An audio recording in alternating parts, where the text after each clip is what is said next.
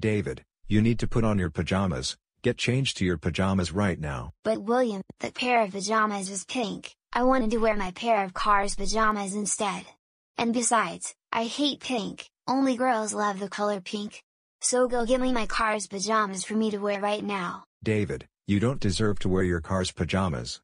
Put on those pink pajamas right now, and if you dare to raise your voice at me, then you will lose all of your favorite privileges until further notice. Shut up William, I hate wearing those pink pajamas, and besides, Cars pajamas from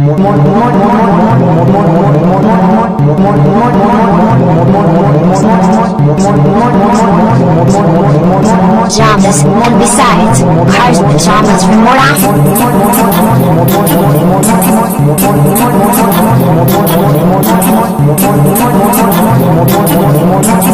morning, morning.